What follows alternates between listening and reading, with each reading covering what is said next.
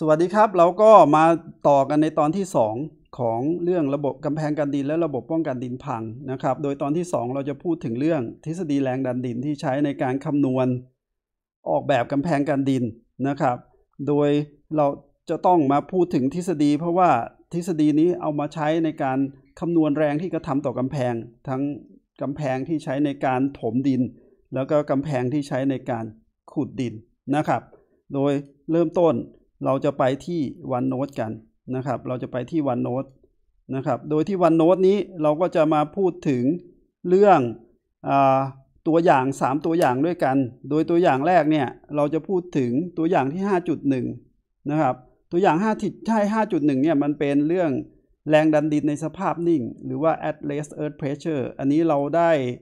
พูดกันแล้วนะครับในเรื่อง soil mechanics นะครับใน soil mechanics ใน soil mechanics เนี่ยก็มีตัวอย่างแล้วก็ข้อสอบให้ทำนะครับ ก็เป็นการคำนวณแรงดันดินในสภาพที่ดินมันอยู่นิ่งๆนะครับ อันนี้ตัวอย่าง 5.1 นะครับ เดี๋ยวเรามาดูกันว่าเราจะทำยังไง เป็นการทบทวนเรื่อง soil mechanics ตัวอย่าง 5.2 เนี่ยเราจะพูดถึงเรื่องแรงดันดินนะครับในสภาวะ active นะครับเราก็จะงงๆว่าเอ๊ะ active มันคืออะไร แล้วเดี๋ยวมาว่ากันแรงดันดินในสภาวะ active นะครับ ก็ต่อไปนะครับ ทีนี้ตัวอย่าง 5.3 ก็เป็นแรงดันดินด้านข้างในสภาวะ passive หรือว่า passive earth pressure อันนี้เดี๋ยวมาว่ากัน เราจะทำ3ตัวอย่างนี้ให้ได้ 3 ตัวอย่างนี้ทำได้แล้วก็ไม่ได้หมายถึงว่าเราจะออกแบบกำแพงกันดินได้ เพราะว่าการออกแบบกำแพงกันดินก็จะมีขั้นตอนที่ ยุ่งยากไปกว่าตัวอย่าง 3 ตัวอย่างนี้พอสมควรนะครับ แต่ว่าถ้าเกิดทำสามตัวอย่างนี้ไม่เข้าใจ มันก็จะไปงงงว่าจริง ๆ มันจะไปงงงว่า เอ๊ะเราเวลาไปคำนวณแรงดันดินเนี่ยมันจะงงงนิดหนึ่งนะครับ ดังนั้นก็พยายามทำความเข้าใจกับตัวอย่าง 3 ตัวอย่างนี้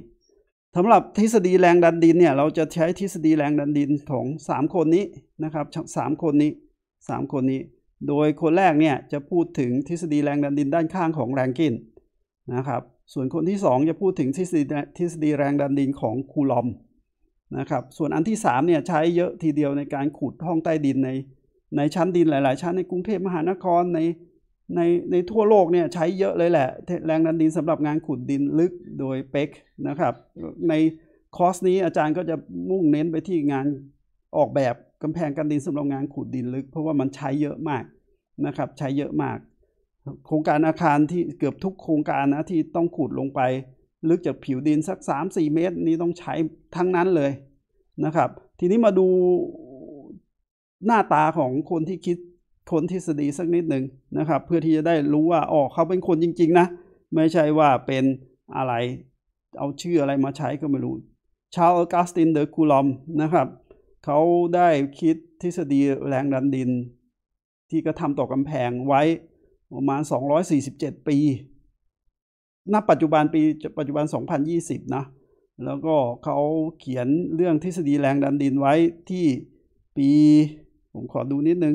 ปี 1773 ก็นับก็ 247 ปี นับจากปี 2020 นะครับเขาเขียนอะไรไว้ชาวออกัสตินเดอคูลอม ชื่อเขาอยู่นี่นะคูลอมเขาเขียนตัดอ่านไม่ออกนะครับ เพราะเป็นภาษาฝรั่งเศส เราก็เลยเอาไป translate นะครับ จาก Google Translate นะเขาบอกว่าเขาเขียนเรื่อง test on application of maximum and minimum to some problem of relative statics นะครับ ก็จะเป็นอย่างนี้ เราก็จะ 200 กว่าปีแล้วนะ จริงๆ เรามาเรียนณปัจจุบันก็เรียนความรู้โบราณมาก ๆ เลยนะ 200 กว่าปี ซึ่งเราก็ยังใช้ได้อยู่ณปัจจุบันนะครับ ส่วนคนที่ 2 ชื่อแรงกิน แรงกินหน้าตาเป็นอย่างนี้นะครับ หน้าตาเป็นอย่างนี้ ก็เป็นคนสกอตช์สกอตช์นะครับ ก็หน้าตาเป็นอย่างนี้ ส่วนคนที่ 3 ก็เป็นเป็กนะครับ ทั้งหมดเสียชีวิตไปหมดแล้วนะครับ เสียชีวิตไปหมดแล้วนะแต่ผลงานเขาก็ยังอยู่ทำให้วิศวกรโยธาสามารถออกแบบกำแพงกันดินได้นะครับอย่างเรียกว่ามีหลักการไม่ใช่ว่าปากปากไปเถิด แล้วถ้าเกิดมันพังก็ใช้ไม่ได้ ถ้าเกิดไม่พังก็ใช้ได้ อันนั้นไม่ใช่วิศวกรรมแล้วอันนั้นเรียกว่าวิศวกะนะครับโอเคแต่ว่าครูลอมเขาเขียนในหนังสือนี้ดูหน้าตาของตัวที่เขาเขียนดูซิว่าเขาเขียนอะไรไว้นะครับ จะได้รู้ว่า โอ้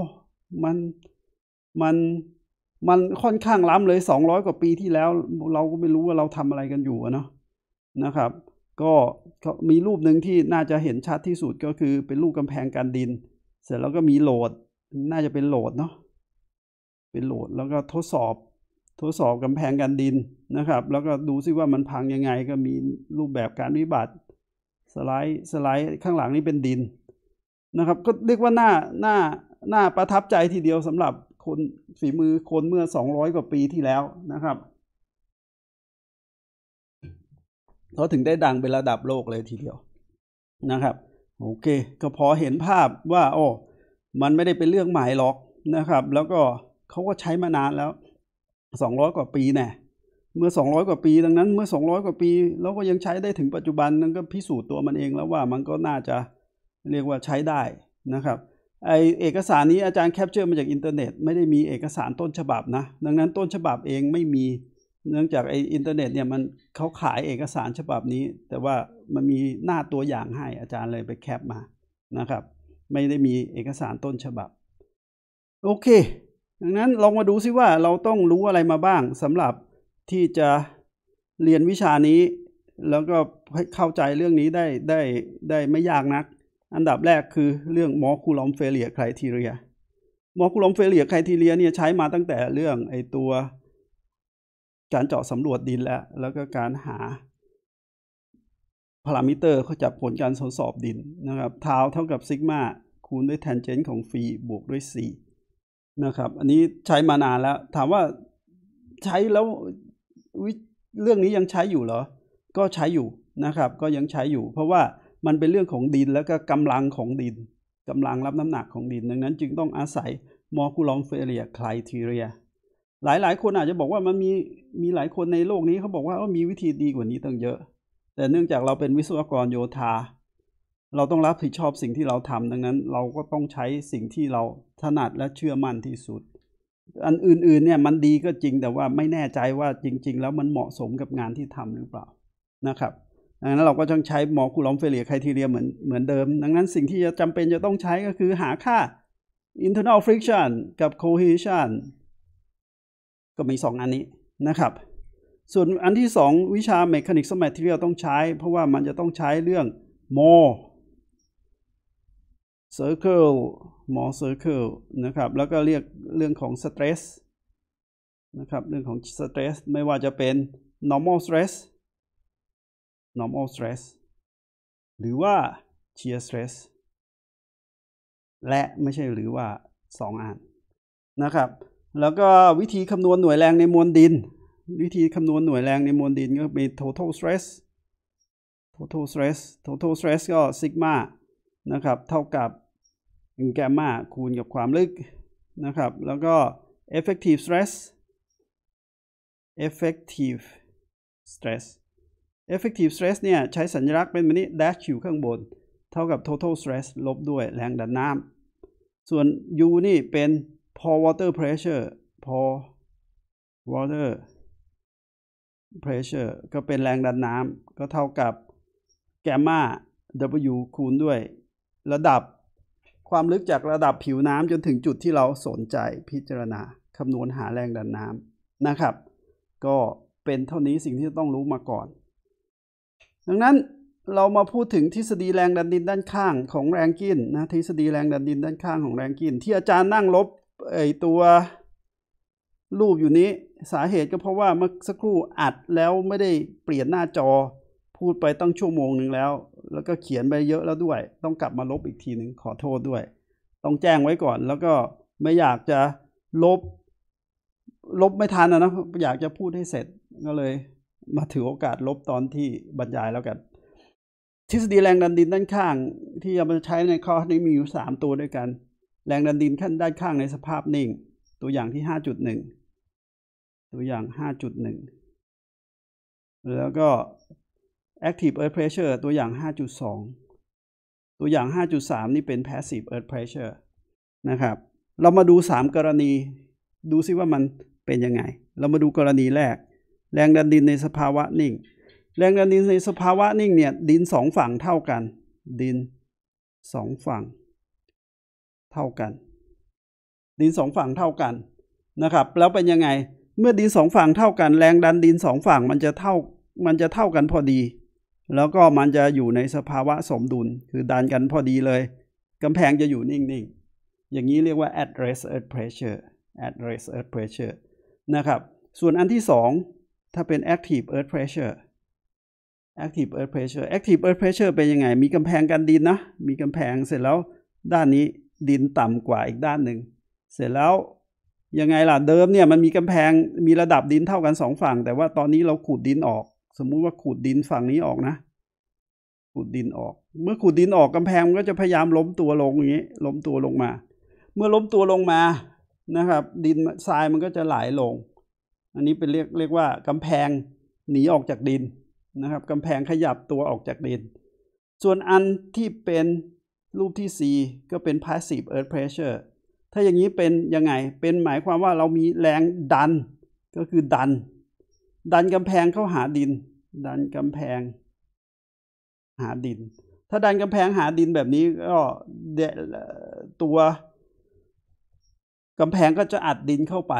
ลองพิจารณา 3 กรณีนี้ดูซิมันต่างกันยังไง อันดับแรก address อยู่เฉยๆสองฝั่งเท่ากัน ส่วนอันดับที่2 active คือด้านนี้ลดแรงดันลงนะครับ อันนี้ปกติมันดันนะ เสร็จแล้วอยู่ดีๆ ผมเอาแรงดันฝั่งซ้ายออกนั้นฝั่งขวาเนี่ยมันจะรู้สึกว่าเอ้ยแรงดันมันลดลงแฮะอ่าโอเค ทีนี้ถ้าเป็น passive หมายความว่าตอนแรกดันเท่ากัน แต่ว่ามีแรงตอนแต่ว่าเราก็พยายามดันนะครับ ก็เลยมีแรงดันมาดันด้านซ้ายมากขึ้น เราจะพบว่าด้านขวาเนี่ยจะรู้สึกว่าถึงแรงดันที่เพิ่มขึ้น หลักการแบบนี้ก็ทำให้เราสามารถพิจารณาได้ว่า เอากำแพงมันอยู่ในสภาวะ active หรือ passive แรงดันดินมันจะมากขึ้นกว่าเดิมหรือเปล่านะครับ มันก็ช่วยได้ในระดับหนึ่งทีนี้ลองมาดูซิว่าเราจะคำนวณไอแรงดันดินในสภาวะ at rest ได้ยังไง อันนี้มาจากวิชา soil mechanics เลยนะ วิชา soil mechanics นะครับ มันมาจากวิชา soil mechanics soil mechanics เป็นยังไงล่ะ วิชา soil mechanics เราก็พูดถึงเรื่องไอตัว at rest earth pressure at rest earth pressure ซอยเมคานิกเราก็บอกว่ามีดินอยู่ที่นี่เนาะเสร็จแล้วอยากจะคำนวณไอตัว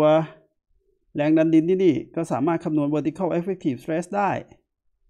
แล้วก็คำนวณ horizontal effective stress ได้ อันนี้เป็น element อย่างนี้ต้องล้างรูปว่าเป็น element นะครับ เป็นอย่างนี้ ก็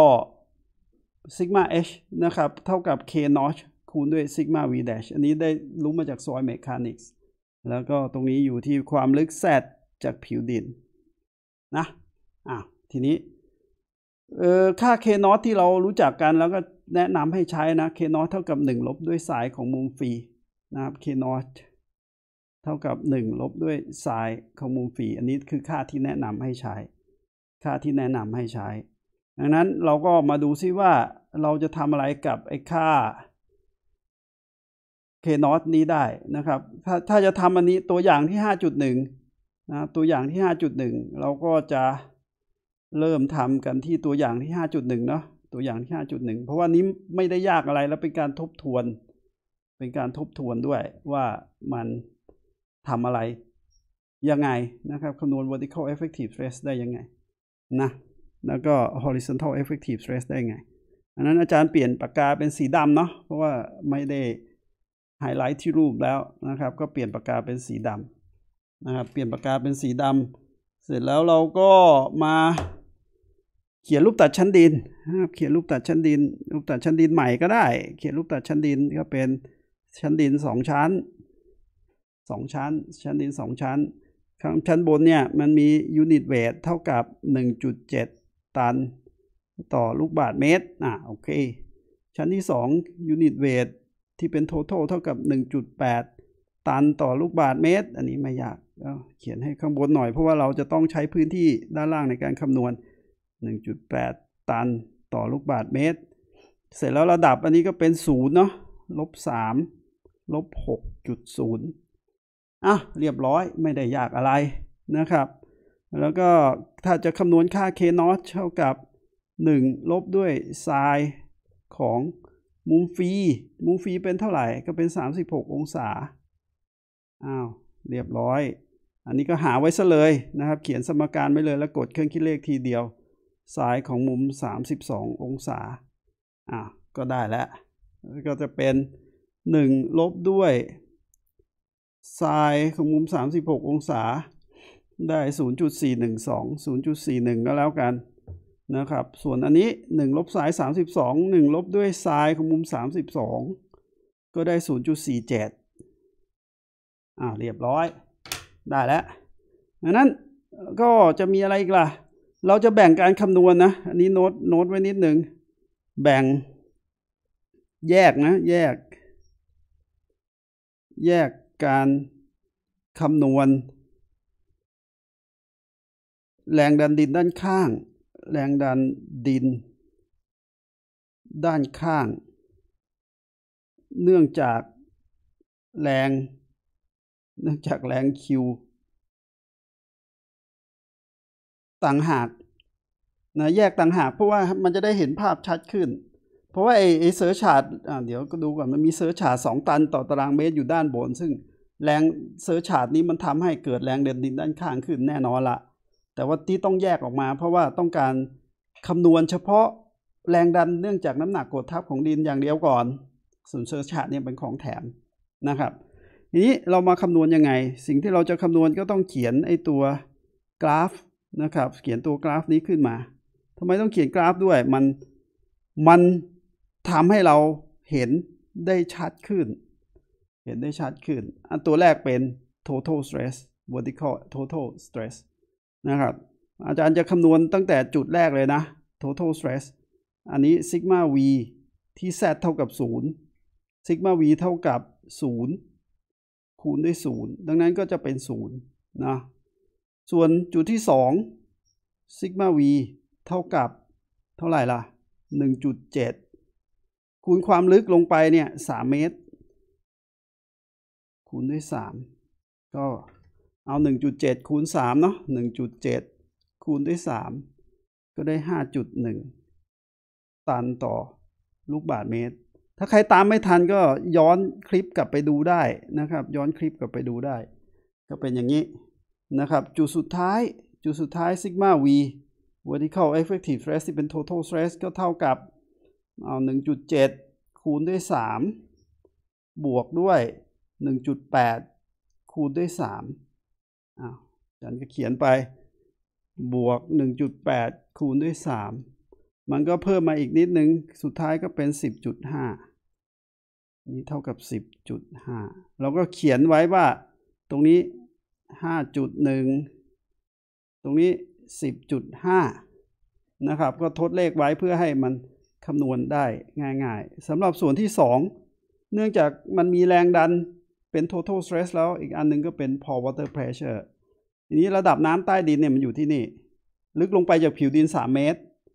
ต้องดูนะว่าแรงดันน้ำมันเพิ่มจากผิวดิน ผิวน้ำนะไม่ใช่ผิวดินเนาะนะดังนั้นที่ตรงนี้ u เท่ากับ 0 เพราะว่ามันระดับน้ำมันอยู่นี่ เสร็จแล้วก็เพิ่มขึ้นตามความลึก อันนี้แรงดันน้ำก็เท่ากับเท่าไหร่ล่ะ บางคนบอกเอา 6 คูณใช่ที่ไหนล่ะ เพราะว่ามันลึกลงไปแค่ 3 เมตรเอง ก็เท่ากับยูนิตเวทของน้ำเป็น 1 ตันต่อลูกบาศก์เมตรคูณด้วย 3 ก็เท่ากับ 3 ตันต่อตารางเมตร อันนี้ใส่เลข 3 ไปแล้วเท่านี้ไม่มีอะไรนะครับ สุดท้ายสุดท้าย สุดท้ายควรคำนวณ vertical effective stress เท่ากับ total stress ลบด้วย pore water pressure นะก็คำนวณยังไงล่ะ อันนี้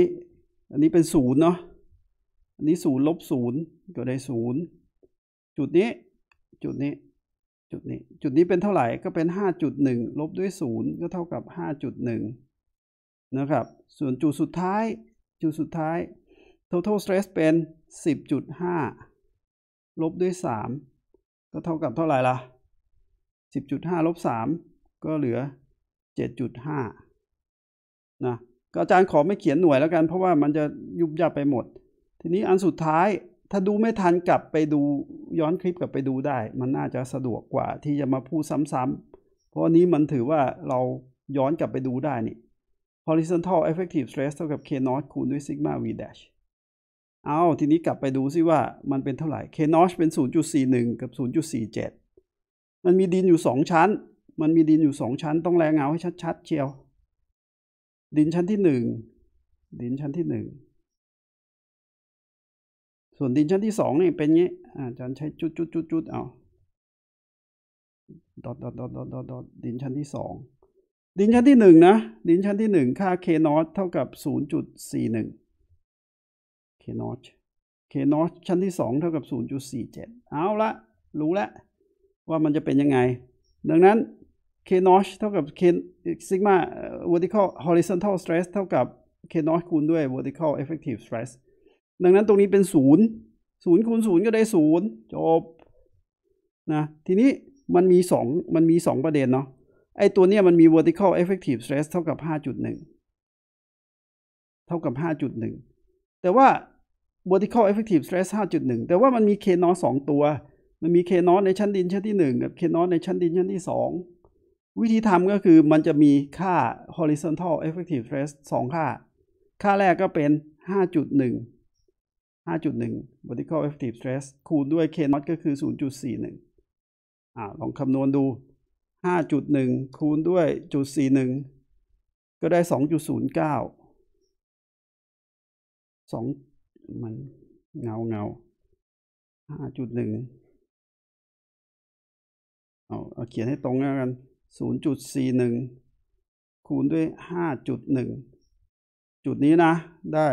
2.09 ตันต่อตารางเมตรลากออกมาปั๊บก็ให้นี่ประเด็นมีอยู่ว่าไอ้5.1ตันต่อตารางเมตรเนี่ยมันมีมันถ้าเกิดเอาไปคูณ k นอตเท่ากับ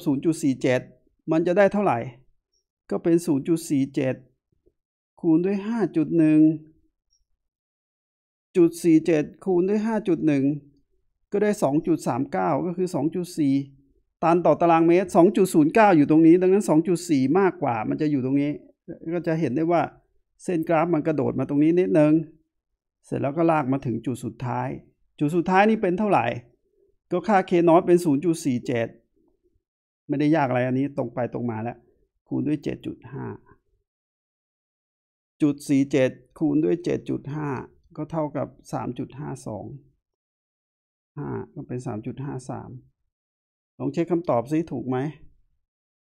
3.53 เนาะ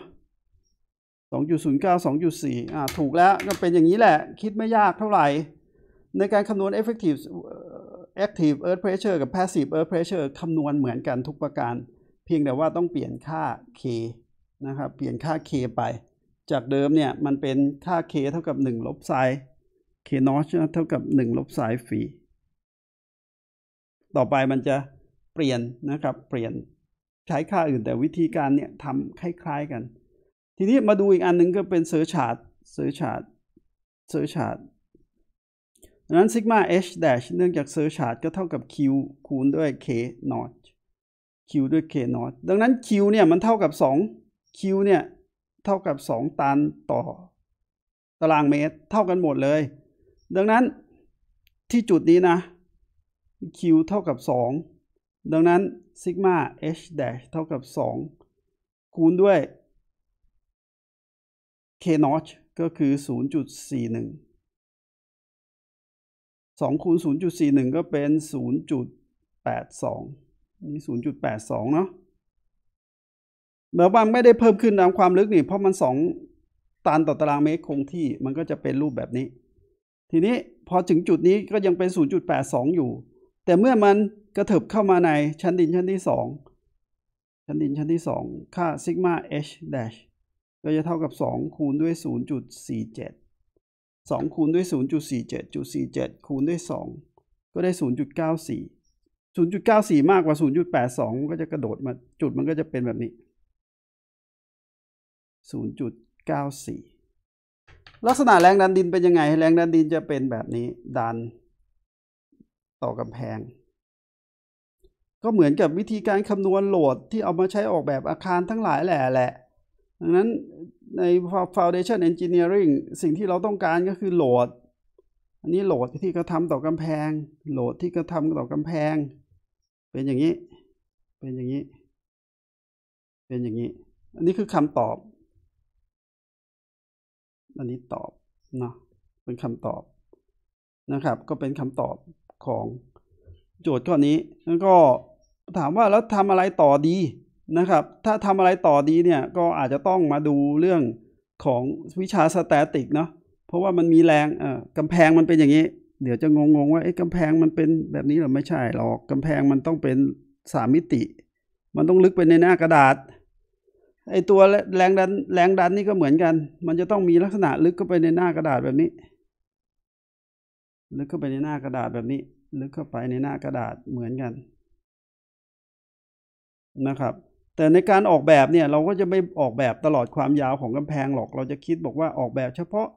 ความกว้าง 1 เมตร เท่านั้นเอง เพื่อให้มันไม่ได้ยากอะไรนะเพื่อให้มันสะดวกในการคำนวณนั่นแหละ ที่เหลือเป็นการคิดแรงรับนักนักศึกษาอาจจะต้องลองไปคิดแรงรับดูนะครับ วิธีการคิดแรงรับคิดยังไง ขอเปลี่ยนสีปากกาให้เป็นสีที่มันเห็นได้อาจจะเป็นสีเขียวนะครับ ก็จะเห็นได้ว่า pressure จะมีสามเหลี่ยมตรงนี้ตัวหนึ่ง เราให้เป็น F1 นะครับ เรารู้นี่ผมลบไอ้ที่ทิ้งไปนะ เรารู้ว่าไอ้ตัวฐานมันมีความกว้าง 2.09ดังนั้นคำนวณหา F1 ได้ พร้อมคำตำแหน่งของแรงรับนะครับ F2 F2 ก็เป็นอันนี้คำนวณไม่ยาก อันนี้ขอไม่คำนวณให้ดูเนาะมันจะได้ไม่งานบรรยายมันจะได้กระชับหน่อย ส่วนที่3ก็เป็นนี้นะครับ F3 อันนี้ผมลบทิ้งเนาะเข้าใจแล้วล่ะว่าต่อ1เมตร นี่ F4 F4 ส่วนนี้เป็น F5 ทั้งหมดมี 5 แรงด้วยกัน เมื่อเอาแรงรับทั้งหมดมารวมกันได้แรงทั้งหมดเป็นร้อยสิบเจ็ดจุดสามสองตัน ต่อ1เมตรนะครับ อันนี้เป็นตัวอย่างที่5.1สำหรับเรื่อง active earth at rest earth pressure นะครับอ้าวลองทบกลับไปทบทวน ลองทบทวนนะ ถ้าเกิดไม่เข้าใจก็ย้อนกลับมาดู เพราะว่าหลังจากนี้เราจะใช้พื้นฐานของอันนี้ในการคำนวณแรงดันดินในสภาวะ active นะครับ active earth pressure คือหัวข้อถัดไป active earth pressure ทำไมต้อง active และ active earth pressure เป็นอย่างไร อันนี้อาจารย์จะพยายามทำให้มันพลาดน้อยที่สุด ราะว่าไม่งั้นเดี๋ยวต้องกลับมาอัดคลิปใหม่ อันนี้ยุ่งมากเลยนะอ้าวลองไปดูคลิปนะครับลองดูคลิป อันนี้เป็นคลิปที่ที่เขียนได้ไหมเนี่ยเขียนไม่ได้อย่าแล้วสไลด์โชว์นะอันนี้เป็นคลิปที่เพื่อนที่อยู่ที่เรียนอยู่ด้วยกันตอนปริญญาเอกเขาทำไว้สอนนักศึกษาปตรี ของของประเทศเขานะครับ ก็เอาทรายเอาถังทรายเนี่ยมา เสร็จแล้วก็มันจะมีไอไอตัวกำแพงสีแดงอะนะมันจะขยับออกไปทางด้านซ้าย เราจะพบว่าไอตัวทรายเนี่ยมันก็จะยุบลงนะครับจะยุบลง อันนี้จำลองดินจำลองสถานการณ์ในสภาวะ active นะครับสภาวะ active เรียกว่า active earth pressure ขอกลับไปที่ OneNote เช็คนิดนึงว่ากลับไปที่ OneNote จริงหรือเปล่าเมื่อกี้พลาดนะ โอเค เมื่อกลับไปที่ OneNote แล้ว ก็ OneNote มันจะตายอยู่สักแป๊บหนึ่งอะนะเพราะว่ามันพิลึกพิลั่นจังนะ OneNote มันจะนิ่ง ๆ ไปสักแป๊บหนึ่งอะ ไม่นิ่งแล้ว โอเค อันนี้ก่อนโอ้ต้องเปลี่ยนสีปากกาอีกนะครับ เปลี่ยนสีปากกาให้มันเห็นชัดนิดนึง สีเนี่ยชัดสุดแล้วเพราะมันเข้ากับทุกสี อันนี้ก่อน ก่อนเลื่อน ผนัง ผนังตัวนี้ ดินก็จะอยู่นิ่งๆอยู่นี่ระดับนี้ อันนี้หลังจากเลื่อนผนัง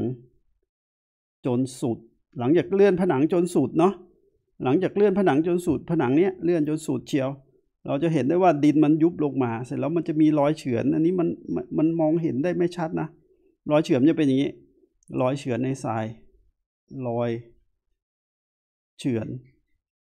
ในทราย มันจะเห็นชัดเลยแหละ แต่ว่ารูปที่เอามา present ในจอเนี่ยมันไม่ชัดนะไป process หลายทีแล้วมันก็ไม่ชัดเท่าไหร่นะอย่างนี้ก็เรียกว่าสภาวะ active หมายถึงอะไรกำแพง ขยับ ออกจากดิน ขยับออกจากดินด้วยหลายสาเหตุด้วยกัน ไม่ใช่บอกว่าอยู่ดีๆ เอาอะไรไปเรื่อยหรอก จริง ๆ แล้วมันน่าเดิมเนี่ยมันมีดินอยู่สองฝั่งเท่ากัน แต่ว่าขุดดินฝั่งซ้ายออก แต่ว่ามันก็ยากไงเขาก็เลยใช้วิธีจำลองการดันของกำแพงด้วยจำลองการยันของทรายอีกฝั่งหนึ่งด้วยกำแพงสีแดง ๆ นี้แทน ก็น่าจะพอเห็นภาพนะเพราะเด็กฝรั่งก็ฟังออกเด็กไทยสู้เด็กฝรั่งได้ละนะวิธีการคำนวณ แรงดันดินในสภาวะ active วันนี้ต้องใช้ Mohr circle นะใช้ Mohr circle มันจะทำอย่างนี้ เราบอกว่ามันมี 2 กรณี กรณีหนึ่งอาจารย์จะแยกสองเป็นสองฝั่งอย่างนี้นะ อันที่หนึ่งอันที่หนึ่งดินเท่ากัน เริ่มต้นนะ เริ่มต้นดินสองฝั่ง เท่ากัน อะทีนี้มา stage สองจะจะเขียนข้ามฝั่งไว้เลย เพราะว่ามันจะใช้วิธีเทียบกัน ก็เดิมนี่เหมือนเดิมนี่แหละ เพียงแต่ว่าไอ้ดาฝั่งนี้คงที่ฝั่งขวา ดิน เท่าเดิมนะแต่ตอนนี้ฝั่งซ้าย ฝั่งซ้าย ดิน ลดลง เสร็จตรงนี้เป็นจุดหมุน อันนี้เป็นจุดหมุน จุดหมุน อันนี้เป็นดินที่เป็นทรายนะ อะ ทีนี้พอพอทำแบบนี้แล้วมันเป็นยังไง เนื่องจากมันเป็นจุดหมุนนี่ มันก็จะมีแรงดัน ดันให้กำแพงเนี่ย มันโย้ไปอย่างนี้ อันนี้กำแพงขยับกำแพงขยับนะเมื่อกำแพงขยับแล้วจะเห็นอะไรบ้าง อันนี้มันจะมีสองสองรูปที่อยู่ด้านล่างนะนี่เรียกว่า element อาจารย์อันนี้เรื่องเรื่องมันจะยุ่งยุ่งนิดนึง อาจารย์จะพูดช้าช้า element element หมายเลขหนึ่งอยู่เงี้ยเขียน element หมายเลขหนึ่งไว้ เราจะพบว่ามันมีหน่วยแรงในแนวดิ่งเป็นอย่างนี้ซิกมา v dash หน่วยแรงในแนวราบซิกมา h dash ในสภาวะเริ่มต้นศูนย์เข้าไป แต่เมื่อแต่เมื่อกำแพงมันขยับไปแล้ว ขยับไปแล้ว ขยับไปแค่ขนาดไหน อันนี้สำคัญมาก คำพูดนี้สำคัญมาก ขยับจนพัง นี่นี่ต้องเขียนไว้ว่ากำแพง ขยับ จน ดิน วิบัติใช้พังก็ไม่ได้ ต้องใช้คำว่าวิบัติ เสร็จแล้วมาเขียนไอ้รูปอิเลเมนต์รูปอิเลเมนต์สี่เหลี่ยมนะเราจะพบว่าอันนี้มี vertical stress dash อันนี้ตอนที่มันพังเนี่ยก็มี sigma h dash นะอันนี้เป็น element ที่สอง element ที่สอง sigma h dash sigma h dash เนี่ย อันเดิมเนี่ย sigma h เท่ากับ k naught คูณด้วย sigma v dash นะครับแต่ว่าไอ้ไอ้อันที่สอง sigma h dash เนี่ย เท่ากับอะไรวะ จริง ๆ เราก็บอกว่ามันพังมันพังเรียบร้อยแล้วเราจะใช้ Ka คูณด้วยซิกมา V dash แทน ลองสังเกตดูมันคล้ายๆกับไอ้ตัวที่ทำไปเมื่อสักครู่แล้ว แต่ตอนนี้เราอยากจะรู้ว่าค่า Ka เนี่ยมันเท่าไหร่กันแน่ ค่า Ka มันเท่าไหร่กันแน่ ดังนั้นจึงต้องยก element ที่อาจารย์ทาสีอยู่นี่นะ ที่อาจารย์ทาสีอยู่ทางรูปที่หนึ่งเนื่องจากเราไม่เห็นมือปากกาแล้วนี่ ก็ต้องดูว่าปากกามันขยับไปทางไหนก็แล้วกัน อันนี้อันนี้มันจะลำบากนิดหนึ่งตอนที่เราเลคเชอร์แบบนี้นี่ที่มันเป็นสีบานเย็นของรูปที่หนึ่งเสร็จแล้วก็ของบานเย็นของรูปที่สองแล้วก็มาเขียน เป็นอย่างนี้เรียกว่า state of stress อันนี้ Mohr's Mohr circle มาแล้ว state of stress state of stress มีอยู่สอง state ด้วยกัน อันนี้เริ่มต้น อันที่หนึ่งนะ หมายถึงเริ่มต้น ส่วนอันที่สองเนี่ย หมายถึงวิบัติ มี state of stress สองตัว เวลาเขียน more circle เขียนยังไง ดูรูปที่หนึ่งนะ รูปที่หนึ่งยังเขียนข้างๆอีกทีหนึ่งแล้วกัน จะได้มีโน้มนำความ เขาเรียกว่าเหนียวนะเหนียวนำสายตาไม่งั้นมันไม่รู้เรื่องว่าอาจารย์พูดถึงที่ไหน อันนี้รูปที่หนึ่งนะ sigma v dash ที่เป็นอยู่เริ่มต้น แล้วก็ sigma h dash ที่เริ่มต้น เมื่อมีสองสอง stress ในแนวราบกับแนวแนวดิ่ง เราสามารถเขียน Mohr circle ได้ อันนี้มีพิกัดเป็น sigma ศูนย์ dash comma ศูนย์ shear stress เป็นศูนย์เนาะ normal stress เป็นซิกมา h นะครับ ส่วนพิกัดอันนี้เป็นซิกมา v dash แล้วก็ศูนย์เวลาเขียน Mohr circle แกนนอนเป็น sigma เขียนใหญ่ๆ แกนตั้งเป็น tauนะครับ เสร็จแล้ว vertical stress เนี่ยมันมากกว่า horizontal stress นะครับ ก็อันนี้เป็นตัว 1.1 อันนี้เป็นจุดที่ 2 เมื่อได้ 2 จุดแล้วก็ลาก Mohr circle อันนี้เป็น Mohr circle เราตาดูตามสีไปนะ เพราะว่าเราไม่เห็นว่ามืออาจารย์ไปทางไหนนี่ สิ่งที่ทำได้ก็คือดูตามสีปากกาเอานะครับ สีบานเย็นเป็นสำหรับไอ้ตัวที่ 1 ทีนี้ไอ้ตัวที่2เนี่ยในสภาวะวิบัติเนี่ยเอาก็จะมาใช้เป็นสี สีอะไรดี สีเขียวก็แล้วกัน สีเขียว เมื่อวิบัติเนี่ยวิบัติในมอเซอร์เคิลนะมันจะต้องเขียนเส้นแสดงการวิบัติได้อย่างนี้ นี่เส้นสีแดง ก็เรียกว่า failure envelope ตรงนี้เป็น internal friction angle จุดตัดแกน y นะ จุดจัดแกนเท้าเรียกว่า c ค่า c แล้วมีสมการเป็นเท้าเท่ากับซิกมา tan phi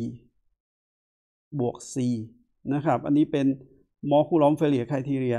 ทีนี้ไอตัวที่ 2 เนี่ยเขาบอกว่าวิบัติ อาจารย์วงเขียวๆไว้นะ ตามสายตาไปแล้วกัน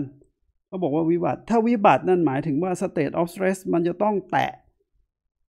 เส้น failure envelope พอดีอย่างนี้เรียกว่า failure envelope แตะเส้น failure envelope พอดี ลองมาเช็คดูซิว่าไอ้สเตทที่ 2 เป็นยังไง vertical stress ยังเท่าเดิม เพราะว่าระดับดินมันไม่ถูกขูดออกไป แต่ horizontal stress เนี่ยมันลดลงทำไมมันถึงลดลง เพราะว่า horizontal stress เดิมเนี่ยอยู่ที่นี่ เมื่อกำแพงขยับแรงที่ดันต่อกำแพงมันจะลดลง ลดลงอีก ลดลงเรื่อยๆ จนกระทั่งสุดท้าย ลดลงจนถึงที่สุด แล้วมันก็จะมาแตะกับเส้น failure envelope นะครับเส้น failure envelope เมื่อได้อย่างนี้ปั๊บสิ่งที่จะทำได้ก็คือ เราก็มาดูสิ่งที่เราจะได้สิ่งที่เราจะดูนะ อาจารย์จะมาเขียนรูปไว้ข้างล่าง แล้วก็ใช้วิธีสร้างรูปให้มันชัดๆขึ้นนิดนึง นะครับเขียนรูป Mohr circle ใหม่ แล้วก็อธิบายจากรูป Mohr circle เพราะว่ามันจะได้ชัดขึ้นนิดนึงแล้วอาจารย์จะใช้จะแสดงเฉพาะไอ้ตัว active earth pressure passive earth pressure จะไม่พูด เพราะว่าไม่งั้นมันจะคลิปมันจะยาวเกินนะอะถ้าไม่เขียนนะ มันจะไม่รู้ว่าอาจารย์ชี้ที่ไหน ดังนั้นขอเขียนละเฉพาะรูปนี้ซิกมา ท้าแล้วก็รูปนี้ เส้นเฟเลียไม่หลบอยู่นี่ จุดตัดเอ่อมุมนี้เป็นเท้าเท่ากับซิกมาแทนเจนของฟีบวกด้วย 4 จุดตัดแกนนี้เป็น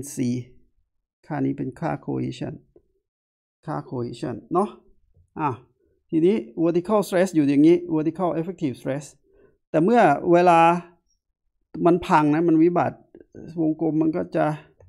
แตะ แตะ vertical effective stress มันใกล้ไปนิดนึง ต้องเอามายาวอีกหน่อยเขียนอย่างนี้แล้วกันอะอันนี้เป็น vertical effective stress อันนี้เป็น horizontal effective stress ที่วิบัติเราที่วิบัติเนาะเขียนให้ชัด ที่ วิบัติ เราเรียกว่า active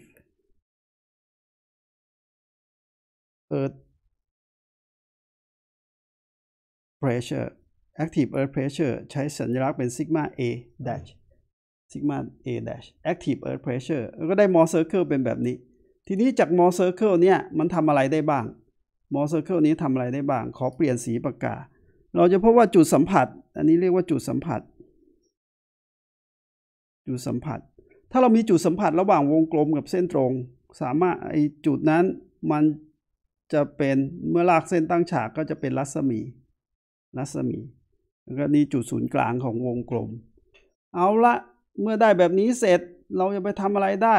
เพราะว่าถ้าเกิดไปดูในหนังในเอกสารประกอบการบรรยาย มันจะอ่านแล้วตามอาจจะตามไม่ทัน อันนี้เป็นรัศมี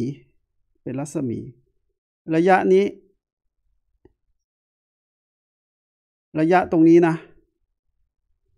ระยะตรงนี้คำนวณได้ เพราะตรงนี้เป็น internal friction เหมือนเอมเกิลเหมือนกัน ถ้าเรารู้ว่าระยะนี้เป็น x และ c ส่วนด้วย x เท่ากับ tangent ของฟี ดังนั้นค่า x จึงเท่ากับ c หารด้วย tangent ของฟีซึ่งเราเรียกมันว่า cotangent ของฟีดังนั้นตรงนี้เป็น x เท่ากับ c คูณด้วย cotangent ของฟีเนาะส่วนระยะจากนี่มาถึงนี่ ระยะนี่มาจากนี่มาถึงนี่ไม่รู้ว่าเท่าไหร่ แต่ว่าถ้ารวมกันแล้วเนี่ย มันจะได้เป็น a นะ ถ้ารวมกันแล้วมันจะได้เป็นระยะ a แล้วกัน ดังนั้นระยะ a เราไปดูตามหลังก็ได้นะ แต่อันนี้จะเขียนอธิบายให้ให้เห็นภาพ ขอขอขอเลื่อนหน้ามันเลื่อนนิดนึงขอโทษ ย่อมานิดนึง ระยะ a ระยะ a เท่ากับ ระยะ a เท่ากับ c คูณด้วย cotangent ของฟีนะ บวกกับส่วนนี้ ส่วนนี้ ส่วนนี้เราเรียกว่าระยะ จากจุดกำเนิดถึงจุดศูนย์กลางวงกลม ระยะจากจุดกำเนิด ถึงศูนย์กลางวงกลมนะอ้าวนี้ไม่ได้ยากอะไร เพราะว่า small circle เรารู้อยู่ว่า ระยะจากจุดกำเนิดถึงศูนย์กลางวงกลม มันเท่ากับระยะซิกมา v บวกซิกมา h dash หารด้วย 2 อันนี้ได้แล้วระยะ a แล้วหลังจากนั้นทำอะไรอีก หลังจากนั้นเราจะได้ว่าค่า r นะ รัศมีนะ หารด้วยมุม a เอาตัว r นะ หารด้วย a จะเท่ากับไซน์ของมุมฟีนะ r หารด้วย a เท่ากับไซน์ของมุมฟีทีนี้ r เนี่ยมันเท่ากับเท่าไหร่ r ก็เท่ากับซิกมา v dash ลบด้วยซิกมา h dash หารด้วย 2 ดังนั้นแทนค่าทั้งหมดลงไปนะแทนค่าทั้งหมดลงไปในสมการ r ส่วน a เท่ากับ sine phi อันนี้เป็นการ derive ไหมก็น่าจะเป็นดีไลฟ์แหละซิกมา v dash ลบด้วยซิกมา h dash หารด้วย 2 อาจารย์ก็ใส่คูณ 0.5 ไป น่าจะสะดวกกว่า แล้วก็หารด้วย a a ก็เป็น c คูณด้วย cotangent ของฟี cotangent ของฟีแล้วก็บวกด้วย 0.5 เท่าของซิกมา v dash บวกซิกมา h dash เท่ากับไซน์ของมุมฟีนะครับ ด้วยสมการนี้สิ่งที่เราอยากได้คืออะไร แต่ซิกมา h dash มันนะเขาเรียกว่ามันเลยกัน มันลดลงจากซิกมา h 0คือสภาวะเริ่มต้น จนดิน วิวิบัติ จนดิน วิบัติที่ซิกมา h เท่ากับซิกมา a ก็คือเคลื่อนจนพังแหละ แล้วเราคิดว่าไอตัว จุดที่พังเป็นซิกมา a dash ดังนั้นเปลี่ยนสมการไปเป็นอะไรล่ะ 0.5 ตัดกันไป อันนี้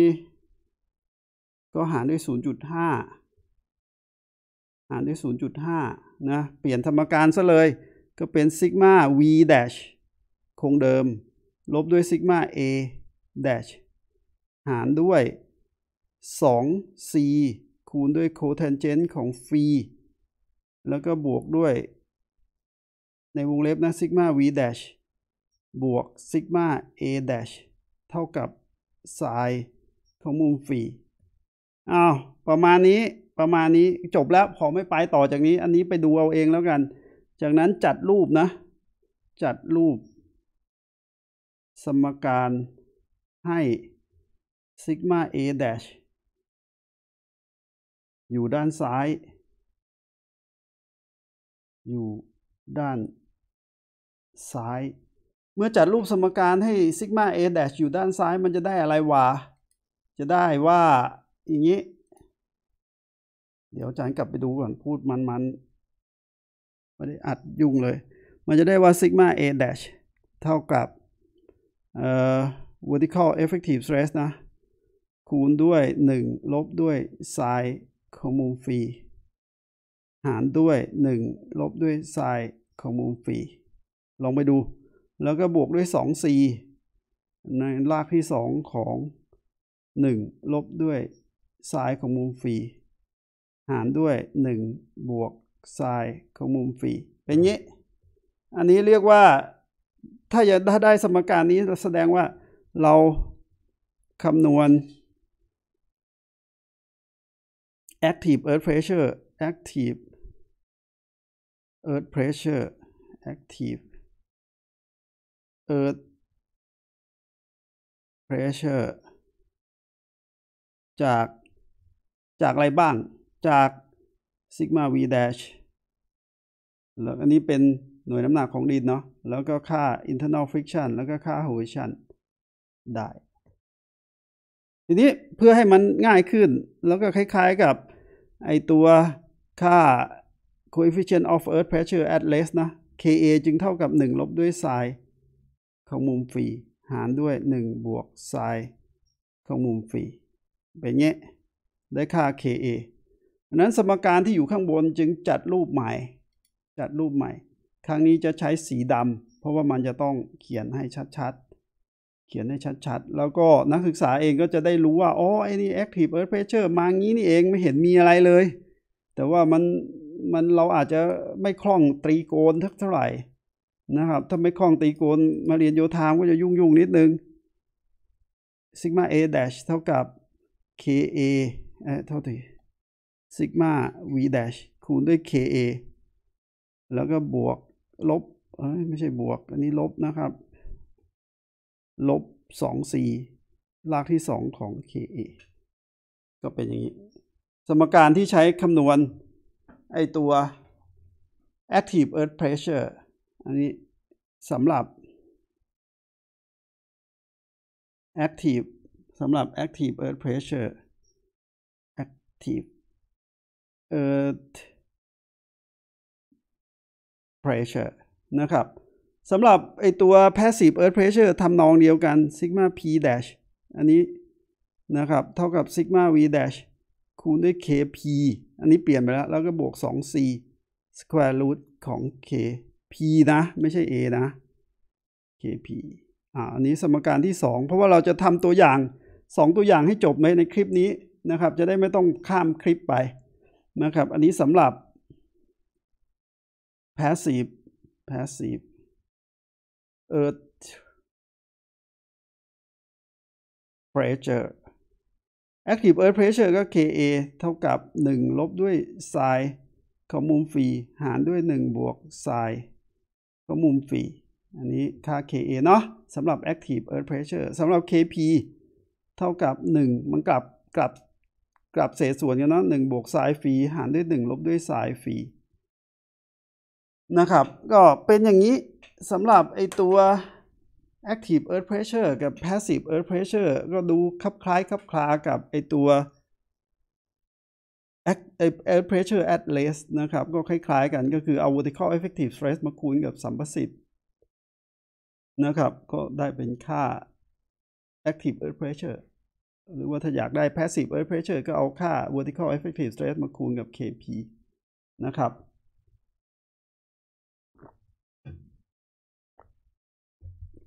ก็เท่านี้สำหรับไอตัวใน handout เนี่ยต้องไปเขียนต้องไปดูเอาเองเนาะอาจารย์ขอขอขอขอข้ามไปอันนั้นมาดูตัวอย่างที่ 5.2 ตัวอย่างที่ 5.2 นี่จะไปเร็วหน่อยนึงนะครับ จะไปเร็วหน่อยนึง เพราะว่าเราได้คำนวณ อันนี้ใช้ค่า sigma v dash vertical effective stress จาก ตัวอย่างที่ 5.1 ถ้าอย่างนี้มันจะเร็วหน่อย เพราะว่าไม่งั้น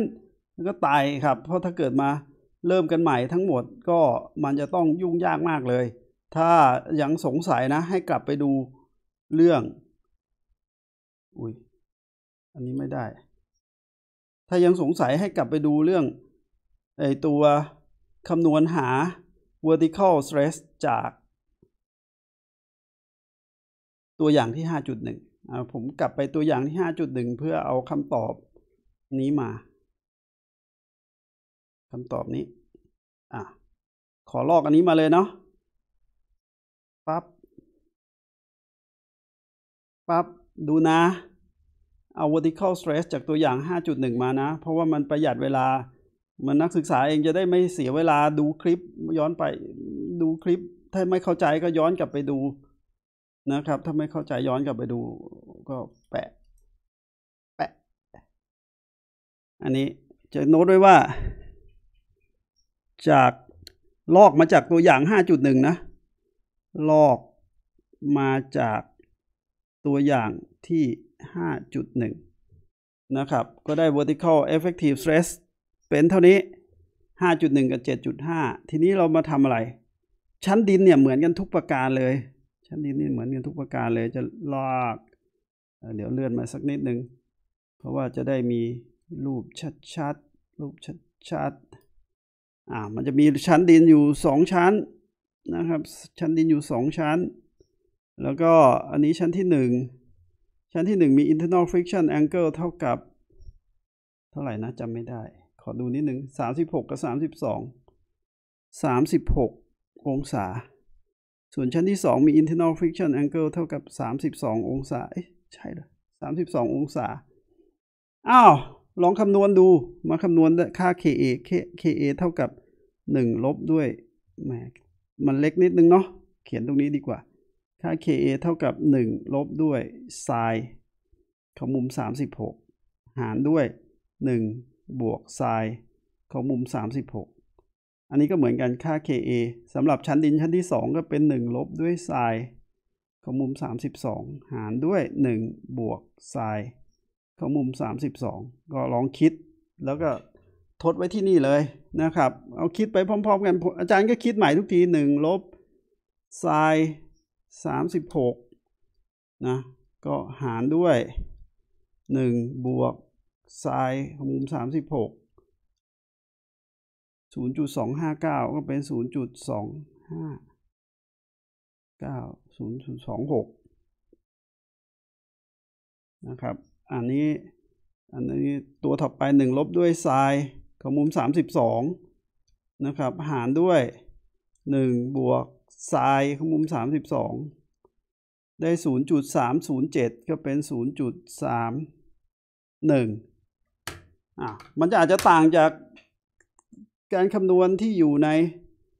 แฮนด์เอาท์หน่อยนึง เพราะว่าปัดทศนิยมไม่เป็นไร อันนี้ไม่ยากแล้วพอได้ vertical effective stress เสร็จสิ่งที่เราจะทำก็คือคำนวณนี่เลย ไม่ต้องคิดมาก active earth pressure active earth pressure active earth pressure นะ active earth pressure ก็เป็น sigma a dash เท่ากับ sigma v dash ka แล้วก็ลบ 2c รากที่ 2 ของ ka แต่ข้อนี้มันง่ายนิดนึงคือ c เท่ากับ 0 อันนี้ตั้งใจเลยแหละ ให้มันไม่ได้ซับซ้อนมากนัก ก็เลยตัดให้ค่า coefficient เป็น 0 ซะ นั้นลองคำนวณ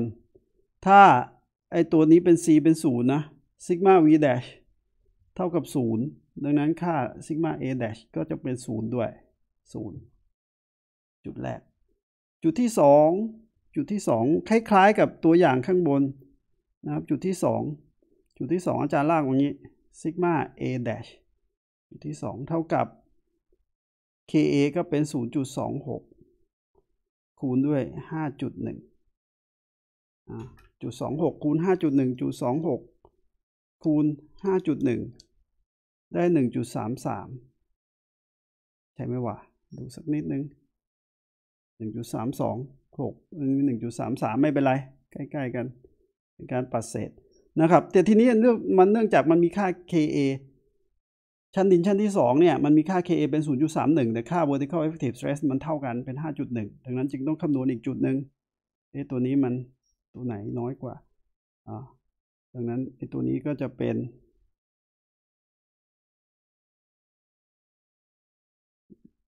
ขียนอย่างนี้แล้วกัน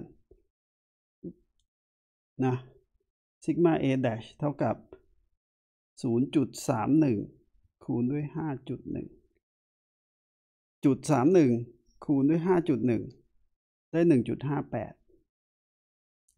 1.58 นะ จะเห็นได้ว่า 2 จุดนี้ถึงแม้ว่าจะอยู่มี vertical effective stress เท่ากัน แต่ว่าเมื่อมันอยู่ในคนละชั้นดินก็จะมีค่า active earth pressure ต่างกัน นะครับชั้นสุดท้ายชั้นสุดท้ายน่าจะอยู่ตรงนี้นะครับชั้นสุดท้าย sigma a dash เท่ากับ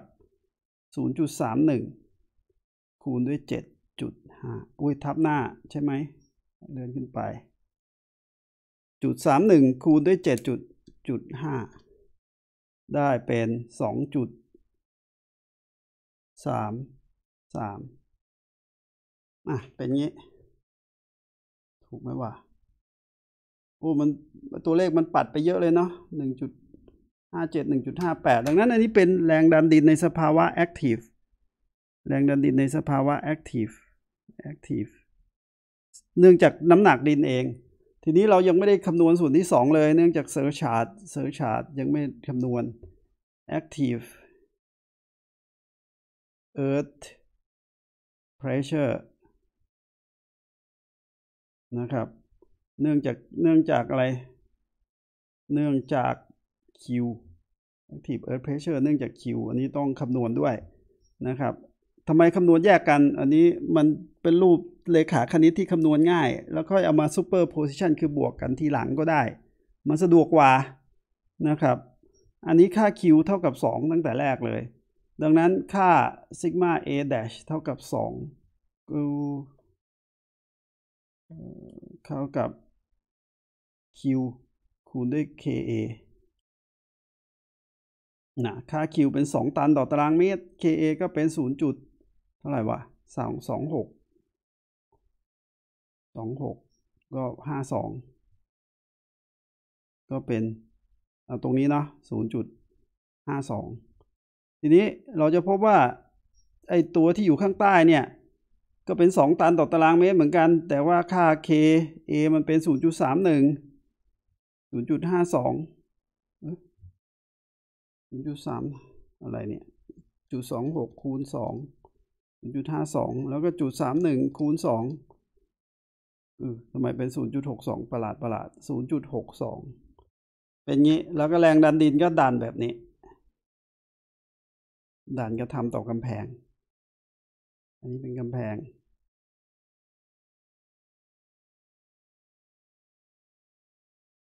กำแพง อันนี้ก็ดันต่อกำแพง เอาละเราก็ได้ปูพื้นมาตั้งแต่ไอตัว active address earth pressure แล้วก็ตามมาด้วย active earth pressure นะนะก็เป็นอย่างนี้ ทีนี้มาดูแรงรับมาคำนวณแรงรับดูสักนิดนึงว่ามันจะต่างจาก แรงรับที่คำนวณจาก address earth pressure เปล่า เพราะว่ามันมันเป็นดินเหมือนกันเพียงแต่ว่าสถานะมันต่างกัน อันนี้ F1 ก็เศษหนึ่งส่วนสองคูณฐานคูณสูงนะ ลองมาดูนี่ F2 F2 นี่ F3 นี่นะครับ แล้วก็ F4 F5 นะครับ อันนี้เป็นเบสิกของการเอาไปออกแบบกำแพงกันดินนะ ก็อาจจะต้อง ทำความคุ้นเคยกับมันไว้บ้างนะครับ เมื่อรวมแรงรับแล้วก็ได้ 11.18 11.18 ตันต่อต่อตารางเมตร นี่เรียกว่า active ลองมาดู address ดิได้เท่าไหร่ address กลับไปดู address นิดนึง มันจะได้เห็นภาพ แล้วเดี๋ยวจะไปเปรียบเทียบกับ passive อีกตัวหนึ่ง address อยู่ไหนวะ address ได้ 17.32 address ได้ 17.32 17.32สำหรับ address เราจะเห็นได้ว่าในสภาวะ active แรงดันมันลดลงนะ แรงดันรวมอะ่ะ เดิมเนี่ยดินอยู่นิ่งๆ แรงดันเป็น 17.32 แต่เมื่อกำแพงมันล้มออกมาจากตัวดินแรงดันมันจะตกลง คือแรงที่ดันต่อกำแพงมันจะลดลงเหลือ 11.18 เองนะครับ เอาละพอเห็นภาพบ้างนะว่ามันเป็นยังไง ทีนี้ ตัวอย่างที่ 5.3 ก็ทำให้เสร็จซะอันนี้เป็นเรื่อง Active เนาะก็ไปดูเอาแล้วกันตัวอย่าง 5.3 ตัวอย่าง 5.3 ก็เป็นเรื่องของแรงดันดินในสภาวะ Passive ก็ไม่ได้ก็สิ่งที่ต้องทำก็คือลอก มาจากตัวอย่าง 5.1 ลอกอะไรวะ ลอกไอตัว vertical effective stress มา ทีนี้ใช้ทำ ตัวอย่าง 5.3 เพราะว่าอะไร เพราะ เพราะ sigma p dash เท่ากับ sigma v dash คูณด้วย kp บวก 2c square root kp เอาค่า cohesion เป็นศูนย์ cohesion เป็นศูนย์ต้องเน้นไว้ก่อน ดังนั้นสำหรับโจทย์ข้อนี้ไอ้นี่ไม่ต้องคิด ตั้งใจตั้งใจว่าจะให้ไม่คิด เพราะว่าไม่งั้น ถ้าอยู่ดีๆ เอาทุกอย่างมายัดรวมกันนะ มันจะ วุ่นวายแล้วก็ทำความเข้าใจได้ยากนะครับ นี้เรามาดูค่า kp สิค่า kp สำหรับชั้นดินชั้นที่ 1 ค่า kp เท่ากับ 1 ลบด้วย อันนี้ไม่ใช่ลบแล้ว1บวกด้วยไซน์ของมุม 36 องศา หารด้วย 1 ลบด้วยไซน์ของมุม 36 องศา อ้าว อาจารย์จะเขียนให้เสร็จซะก่อนเนาะ แล้วค่อยมาคำนวณกัน แล้วค่อยมาคำนวณกัน ค่า kp เท่ากับ 1 ลบด้วยไซน์32 เออบวกสิหารด้วย 1 ลบด้วยไซน์32 องศา นะ ก็ลองคิดลองคิดดู อันนี้คิดดูเพราะว่าจะได้ไม่ต้องพลิกไปดูไอตัวเอกสารอีกนะ ก็ดูตามนี้ไป ดูไม่ทันก็ย้อนกลับมานะ ก็เดี๋ยวก็ได้กลับมาเรียนด้วยปกติแล้วล่ะ อันนี้ หนึ่งลบไซตรงนี้ก็อดทนเอาหน่อยสามจุดแปดห้านะครับ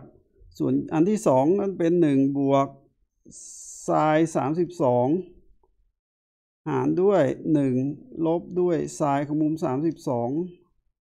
ได้สามจุดสองห้าอ้าวเรียบร้อย ดังนั้นสิ่งที่เราจะมาคำนวณก็คำนวณอะไรล่ะ อันนี้ไม่ยากแล้วเร็วหน่อย sigma p dash นะที่ตรงนี้ sigma v dash เท่ากับ0 sigma p dash เท่ากับ 0สำหรับจุดนี้ 0 ได้ศูนย์เลยแหละ เดี๋ยวโยงผิดจุด เดี๋ยวงงอีกหลาย ๆ คนงงจริง ๆ นะ เสร็จแล้วจุดที่ 2 จุดที่ 2 ก็ sigma p dash เท่ากับ sigma v dash คูณด้วย kp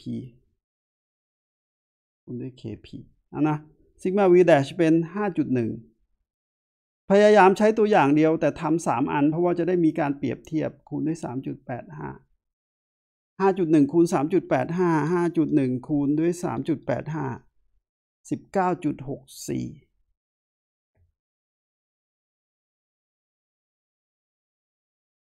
เอาละจุดที่หนึ่งลากมา เยอะหน่อย เยอะหน่อยสิบเก้าแน่ตัวจุดที่สองสามจุดสองห้าเออ อันนี้ผิดไปฮะสามจุดสองห้าไอ้ค่า ดูนะสิบเก้าจุดหกสี่แต่ว่าไอ้เนี่ยมันสามจุดสองห้ามาน้อยกว่าสามจุดแปดห้าดังนั้นจุดนี้มันจะต้องน้อยกว่าจุดบน เพราะว่ามันเอาห้าจุดหนึ่งนะ มาคูณกับสามจุดสองห้า ห้าจุดหนึ่งคูณด้วยสามจุดสองห้าได้สิบหกจุดห้าเจ็ดสิบหกจุดห้าเจ็ดนี่สิบหกจุดห้าเจ็ดมันจะเถิบมาทางนี้ต้องเขียนให้ชัดนะ เราเราเราเราผมอาจารย์เคยเจอว่าเราไม่มั่นใจว่าจริง ๆ มันคืออะไร เพราะว่าบางคนก็ใช้วิธีทำข้อสอบทำตัวอย่างบางอันแล้วคิดว่าจะมาทำข้อสอบอย่างเดียว ซึ่งความรู้มันมันน้อยมาก น้อยมากจนถือว่าเท่ากับ ก่อนมาเรียนน่ะไม่ได้อะไรกลับไปเลย ดังนั้นถ้าเกิดทำความเข้าใจกับมัน แล้วพอให้มันเข้าใจบ้าง มันจะน่าจะรู้เรื่องได้ดีขึ้นนะนี่อันสุดท้ายจุดจุดสุดท้ายอันนี้ค่า 7.5 นะ vertical effective stress คูณด้วย 3.25 ซึ่งเป็นค่า kp ของชั้นนี้ ก็ 7.5 คูณด้วย 3.25 ได้ 24.375ยี่ สามเจ็ดก็พอละสามแปดสี่จุดสามแปดอ่าอันนี้ก็เป็นเอามันผิดไปพอสมควรนะ เพราะปัดเศษยี่สี่จุดสามแปดสิบหกจุดห้าเจ็ดสิบเก้าจุดหกสี่ไม่เป็นไร อันนี้มันอาจารย์ปัดทศนิยมตัวท้ายของไอ้ตัวนี้ไป ตัวค่า KP ไม่เป็นไร ไม่เป็นไร นะ ก็ใกล้เคียงก็นี่เป็นแรงดันที่กระทำต่อกำแพง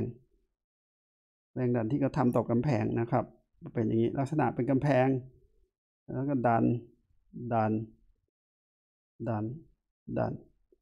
เป็นอย่างนี้อ่าเรียบร้อยสำหรับอันที่สองก็แยก surcharge ทำไมต้องแยก surcharge ด้วย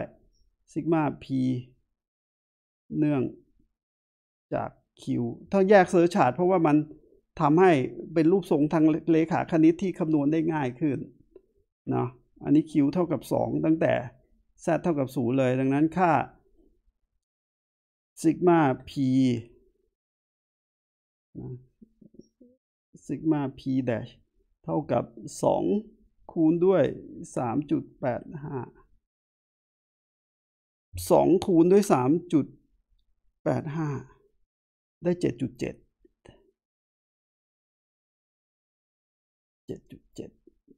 ชี้ผิดจุดเนาะต้องชี้ที่นี่7.7นะสำหรับไอตัวที่อยู่ถัดไปในชั้นดินชั้นที่2ค่า KP มันน้อยกว่านี่ เมื่อค่า KP มันน้อยกว่า ดังนั้นซิกมา P dash ก็เท่ากับ 2 ตันต่อตารางเมตรคูณด้วย 3.25 3.25 คูณด้วย 2 ก็ได้ 6.5 นะเช็คดูสิ ใช่แหละ นะก็อันนี้ก็เป็นแรงดันที่ดันต่อกำแพงนะดันต่อกำแพงประมาณนี้ อันนี้เป็นกำแพง ตัวนี้ก็เป็นกำแพงเหมือนกัน เรียบร้อยสำหรับไอตัวแรงดันดินในสภาวะ active กับ passive แล้วก็ at rest ก็ใช้โจทย์ข้อเดียวกัน แล้วก็จะลองเปรียบเทียบดูอ่าก็การคำนวณแรงลับจาก pressure diagram ก็ทำเหมือนกับข้อข้างบน ก็แบ่งเป็นรูปทรงทางเลขาคณิตที่คำนวณได้ที่หาเซนทรอยได้เนาะก็เป็นสี่เหลี่ยมกับสามเหลี่ยมเท่านั้นเองที่หาเซนทรอยได้ คางหมูอาจจะยุ่งๆนิดนึง ถ้าแบ่งเป็นสี่เหลี่ยมกับสามเหลี่ยมมันสะดวกดี take moment อะไรก็ไม่ยากนะครับ ตัวนี้เป็น passive นี้อาจารย์จะ capture ไอตัวข้างบนมา ที่เราทำไว้เมื่อสักครู่ แล้วมาเปรียบเทียบกันทั้งสามกรณีสามกรณีว่ามันต่างกันยังไง แล้วมีลักษณะเป็นยังไง เพราะว่าที่ข้อดีของอันนี้ที่ทำโจทย์แบบนี้คือเห็นชัดเลยว่า แรงมันต่างกัน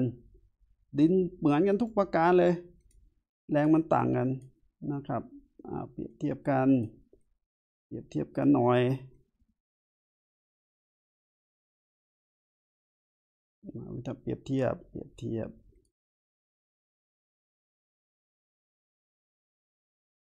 ก็ลองดูว่าถ้าเกิดเป็น active เนี่ย มันน้อยสุด ได้สิบเอ็ดจุดหนึ่งแปดสิบเอ็ดจุดหนึ่งแปดเออสิบเอ็ดจุดหนึ่งแปดในสภาวะ active เนาะ สภาวะ active ส่วน at rest เนี่ยเป็น 17.32 สภาวะ at rest หมายความว่าอะไร หมายความว่าเอถ้าอย่างนั้นแล้ว แรงดันดินในสภาวะ active เยอะๆสุด เพราะว่าเราดันกำแพงอัดเข้าไปในดิน ตัวดินเนี่ยจะต้องรับรู้ว่าโอ้โหแรงดันเพิ่มขึ้น แต่ว่าถ้าเกิดกำแพงขยับออกจากดิน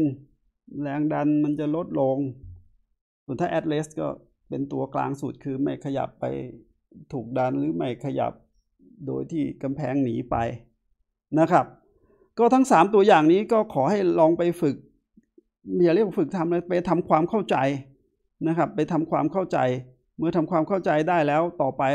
เราจะมาทดลองคำนวณ 2 อย่างด้วยกัน อันนี้ถือว่าจะไฮไลท์ให้ดูว่าเราจะไปคำนวณอะไร เราจะไปคำนวณออกแบบกำแพงกันดินนะครับ โดยใช้ทฤษฎีแรงดันดิน active กับ passive นะครับเพื่อไปคำนวณแรงที่กระทำต่อกำแพง ซึ่งอันนั้นเป็นการออกแบบจริงจังละแต่อันนี้เป็นการแนะนำทฤษฎีที่ใช้คำนวณแรงดันดินนะครับมันเป็นเบสิกดังนั้นต้องหัดทำเบสิกก่อน เมื่อทำเบสิกรู้เรื่องแล้วก็ต่อไปก็จะต้องไปประยุกต์ใช้นะครับสรุปสมการที่ใช้คำนวณแรงดันดินด้านข้างสำหรับวันนี้ก็มีสภาวะ address active แล้วก็ passive สามสมการนี้อาจารย์ก็จะทำให้มันตัวใหญ่ ๆ ไว้นะครับ ก็เป็นเท่านี้เองสำหรับทฤษฎีแรงดันดิน โอเคสำหรับวันนี้นะ ก็คงจะจบการบรรยายด้วยไอตัวทฤษฎีแรงดันดินของแรงกิน 3 ตัว คือ active earth pressure passive earth pre- passive earth pressure แล้วก็ adverse earth pressure นี่มันเป็นของ ตัวแรงกิน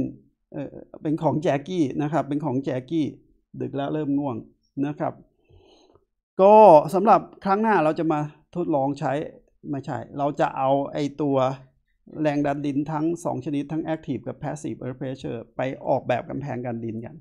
นะครับ ก็พบกันใหม่ครั้งหน้า สวัสดีครับ